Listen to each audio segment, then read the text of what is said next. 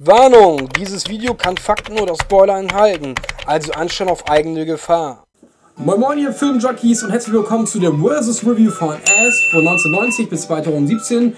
Die entstammen ja einer, einem Roman von Stephen King und es ist natürlich ein Weltbestseller, ist natürlich klar. Dann guckt euch erstmal vorher den ersten Teil an. Der erste Teil ist natürlich sehr wichtig, vielleicht zu verstehen, was überhaupt in den neuen Teil vorkommt und wer auch keine Lust hat auf das Buch oder so weiter. Fangen wir an mit der Review, würde ich sagen. Lasst doch gerne ein kostenloses Abo da, es würde mich sehr freuen und viel Spaß beim Video.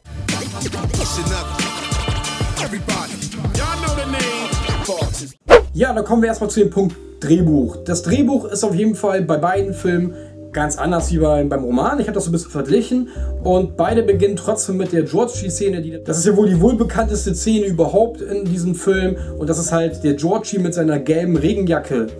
Und beide haben auch ganz verschiedene Zeitzonen. Also der Roman spielt ja 1958, das, der 1990-Film dreht ja 1960 in der Zeitzone und der neue ist halt ganz anders, der spielt 1988. Wobei, wenn auch der neue S eine Neuverfilmung ist, spielt er trotzdem linear einfach nur mit den Kindern, weil der alte spielt halt gemischt und kann sehr komplex sein. Also da ist so ein bisschen mehr erstmal der andere Vorteil, der neue. Ja, bei dem neuen S 2017 erfährt man auf jeden Fall viel Hintergrundwissen. Allein von den ganzen Charakteren und so weiter bekommt man viel, viel mehr Feedback. Und es kommt auch natürlich eine Thematik, die man ja auch dem alten S gesehen hat. Diese Thematik mit diesen Fliegen. Ihr kommt hier runter, wir fliegen alle zusammen. Das wird ja auf jeden Fall aufgelöst und das finde ich richtig gut, weil man konnte sich das halt nicht vorstellen bei den alten S. Und das ist wirklich so im Roman, wird es aufgelöst und natürlich auch jetzt in den neuen. Der neue ist auch einfach neu interpretiert. Also es kommen auch viele Sachen vor, die im Roman nicht waren. Weil man hat ja auch sich damals, sag mal, bemängelt, halt, dass der alte Film, der sehr abweicht von, von der Vorlage. Und ich muss auch sagen, was, jetzt, was ich so gesehen hatte, den neuen S ist einfach wirklich sehr gut umgesetzt worden. Es ist wirklich auch von der Geschwindigkeit, vom Pacing sehr gut. Und es bietet halt einfach sehr an der, an der Romanvorlage, es ist einfach sehr stark angelehnt. Und wenn es auch ein bisschen neu interpretiert ist. Man erfährt nämlich auch so, dass sich halt der Dämon S einfach von der Angst ernährt und es ist einfach nicht eins zu eins kopiert von den alten Teil, was ich sehr gut finde. Ich sag ja auch diese Linearität von den Kindern, dass man halt diese Kinder erstmal nur gesehen hat, finde ich viel besser als dieses gemischte. Diese Coming-Age-Story-Anteile sind einfach sehr gut umgesetzt und machen auch sehr viel Spaß. Auch wenn der Regisseur André Moschetti einfach auch die Szene rausgelassen hat mit der Orgie zwischen der Loser, ist es trotzdem immer noch ein Punkt, für den neuen S 2017. Der alte wurde ja halt von dem Regisseur Tommy Lee Wallace gedreht. Da wird es halt leider kein Punkt für ihn.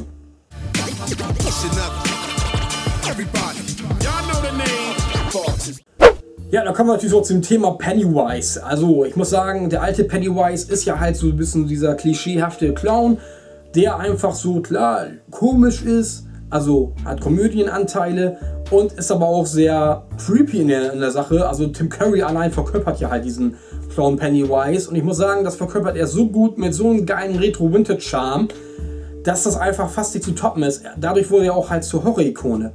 Wenn man auch den Film nicht gesehen hat, musste man einfach ja nur die Anfangsszene mit Georgie sehen und mit Pennywise mit seinem Ballon. Ich bin der tanzende Clown Pennywise. Da wusste man, das ist eine Horror-Ikone und ich muss sagen, man sieht ja halt dieses weiß, weiße Make-up, halt mit der roten Nase. Es brauchte kein CGI, um überhaupt die Leute zu gruseln. Wobei der erste, erste Film nicht gruselig ist. Das ist einfach so ein bisschen mehr auf flüssig gemacht, aber ein bisschen auch so ein paar creepy Elemente.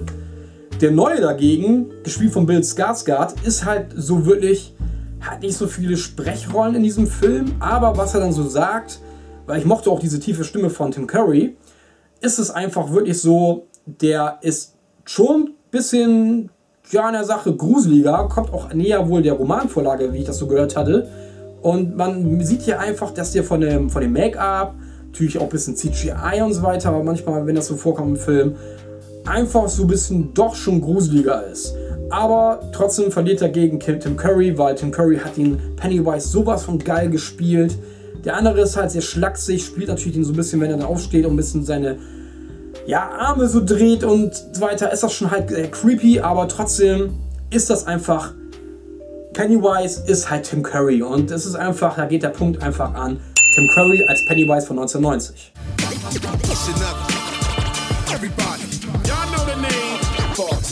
Ja, da kommen wir zum Thema Effekte, blutige Zähne und was halt dazu gehört. Also die visuellen Effekte.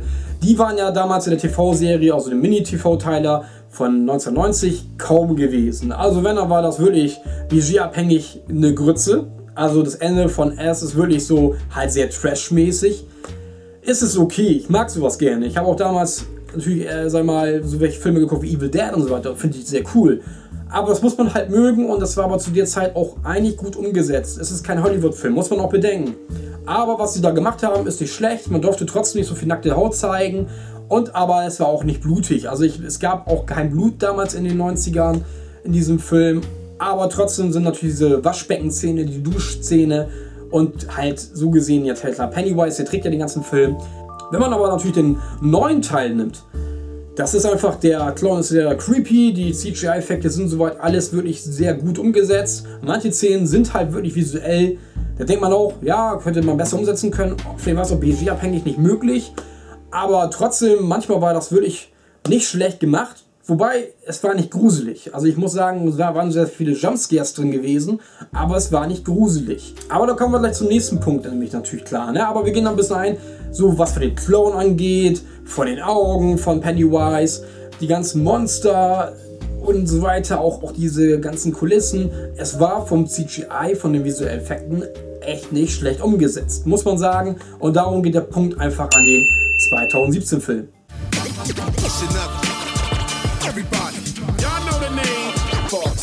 Da kommen wir zum Thema Schnitte. Schnitt auf jeden Fall gab es 1990 fast. Natürlich welche auch. Da waren auch ein paar, was heißt Jump Cuts. Das waren eher natürlich äh, ganz normale, die man damals kannte. Es war halt, man baut ja diese Jump Cuts auf, um Spannung zu erzeugen. Sowas gab es damals natürlich auch schon. Aber es war natürlich, sagen wir mal, in Alien und anderen Filmen, was letztes Mal auch einer angesagt hatte, einfach viel besser umgesetzt. Ist halt ein Hollywood-Film. So, vieles wurde damals gemacht mit Close-Up. Die Close-Ups waren natürlich dann nicht so mega geil gewesen, aber trotzdem muss ich auch sagen, ich will den Film ja auch nicht schlecht machen. Ich finde immer noch, es ist ein Kultfilm, der aber natürlich auch altbacken geworden ist. So, nimmt man natürlich aber die Schnitte von heute, das kann man ja auch gar nicht vergleichen, ist natürlich hier 2017 erst einfach natürlich gut gemacht in den Jump Cards. So, mit den Jumpscares wollten sie natürlich versuchen, diese gruseligen Momente umzusetzen. Es war aber halt manchmal auch zu vorausschaubar, dass man sich erschrecken konnte. Manche haben sich erschrocken. Ich bin halt einfach wirklich mega abgestumpft in solchen Sachen. Ich habe so viele Horrorfilme schon geguckt, wo ich sagen würde, ja, er war ein bisschen creepy. Für mich war er nicht gruselig. Für natürlich 16-Jährige war der wahrscheinlich schon ein bisschen gruseliger. Also ich muss sagen, es ist halt so moderner Horrorfilm, klar der aber mich trotzdem überrascht hat in den Schnitten und von den Kamerafahrten. Da muss man einfach sagen, der war schon nicht schlecht. Und deswegen gibt es noch einen Punkt an den 9S 2017.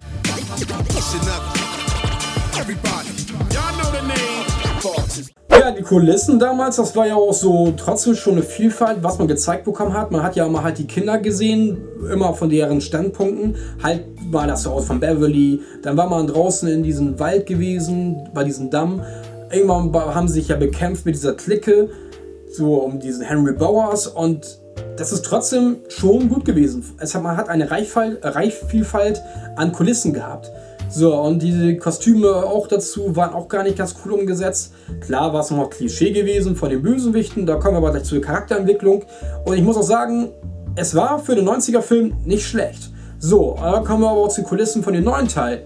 Da ist dieses creepy Haus, sage ich mal, dann hat man natürlich auch die Schule. Man hat wirklich dann auch, da hat man den Wald, wo das weiter gespielt wird. Also man hat auch eine Stelle, das ist hier diese wohl bekannteste Kulisse, die gab es schon in sehr vielen anderen Filmen. Da wurde auch gedreht. Und das fand ich auf jeden Fall, ich glaube, man hat gedreht mal vorher bei Sleepy Hollow und so weiter.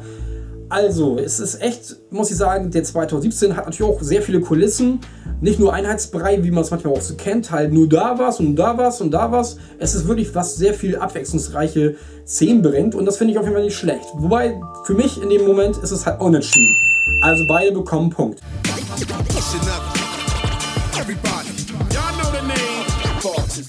Ja, schauspielerisch ist es auf jeden Fall eine Bombe, muss ich ganz ehrlich sagen. Was die Kinder da abliefern, gerade die kleinen Schauspieler, da ist es wirklich Wahnsinn. Das sind sehr gute jugendliche Schauspieler, die ja so gesehen sich ja mit, mit so gesehen 13 präsentieren und mit 15. So sind die ungefähr in diesem Spielalter.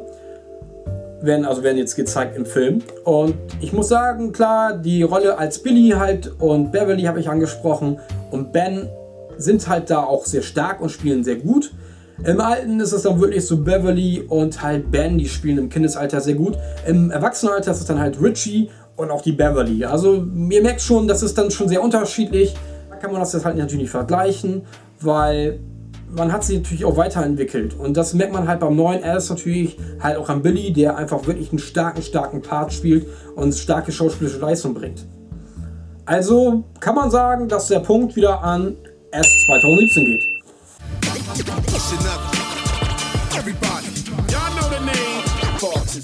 Ja, dann kommen wir zum Thema Filmmusik. Die Filmmusik ist natürlich im alten Teil sehr trashig, muss man ganz ehrlich sagen. Es ist sehr viel Clownsmusik am Start, Zirkusmusik und aber auch so diese normalen trashigen Sounds, die man kennt.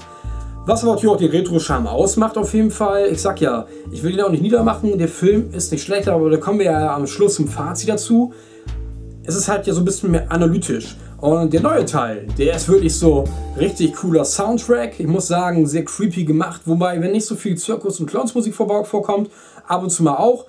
So ein bisschen dieses Sound von Jigsaw, dieses Kinderlachen und so weiter ist halt sehr creepy gemacht eigentlich so, passt auf jeden Fall sehr gut rein.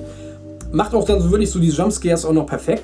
Also ich muss sagen, die Filmmusik ist auf jeden Fall der Soundtrack im neuen Teil richtig gut umgesetzt. Und deswegen gibt es natürlich auch einen Punkt für S 2017.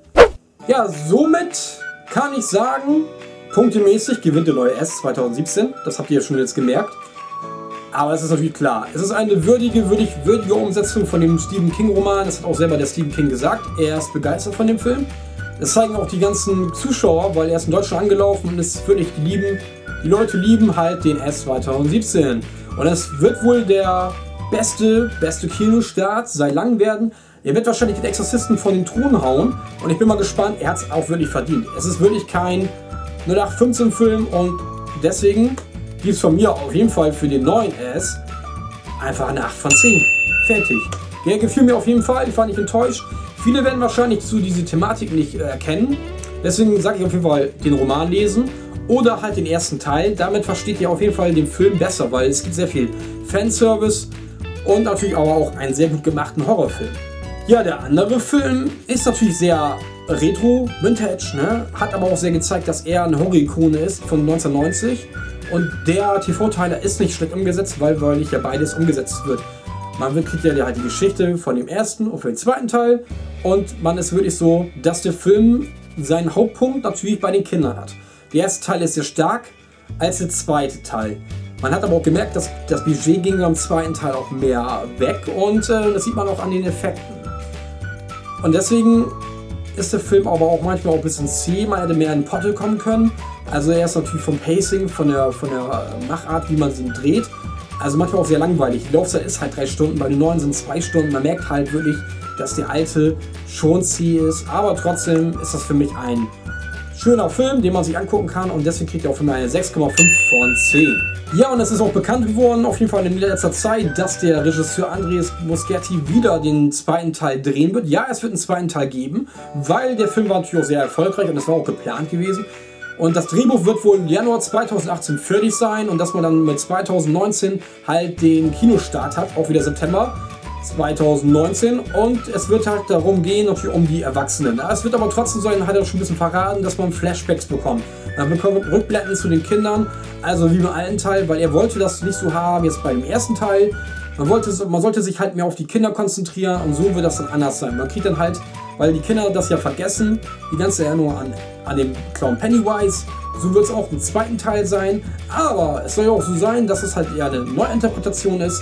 Dass zum Beispiel vielleicht der Mike, der eigentlich in Derry geblieben ist, die anderen sind ja alle fortgegangen, dass er vielleicht ein Junkie wird. Also ich bin sehr gespannt, wie er das umsetzt und ich freue mich schon auf 2019, wenn dann halt der Kinostart ist von S 2019 wahrscheinlich dann, also Teil 2. Ja, wenn euch das Video gefallen hat, ne, dann gebt doch gerne dem Video ein Like nach oben und sagt mir mal in den Kommentaren, wie ihr denn die beiden Filme fandet und ja, was ihr zu dem zweiten Teil sagt, der 2019 rauskommen wird. Und dann würde ich sagen, weil ja auch schon das andere Video so gut ankam und das hoffe ich mal auch so gut ankommt, habe ich mir ja halt gedacht, das wird ja hier ein Start für ein Oktober. Oktober ist ja Halloween und deswegen gibt es halt so eine kleine Stephen King-Woche. Und das ist jetzt halt der Startschuss dafür. Und vielleicht wird es auch noch was anderes geben. Aber ich habe da richtig Bock drauf. Ich, ich hoffe mal, ihr auch. Und deswegen werdet ihr noch ein bisschen mehr von diesem Stephen King-Thema sehen. Und ja, Leute, hat mir auf jeden Fall sehr Spaß gemacht, das für euch zu machen. Und dann würde ich sagen, ein kostenloses Abo da lassen. Oder nicht? Und dann würde ich sagen, Leute, bis dann und ciao und bam!